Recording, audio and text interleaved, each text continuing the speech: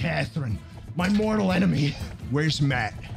Where the f is Matt? Oh my god, it's Cole! I never thought I'd be intimidated by a man named Cole, but here we are.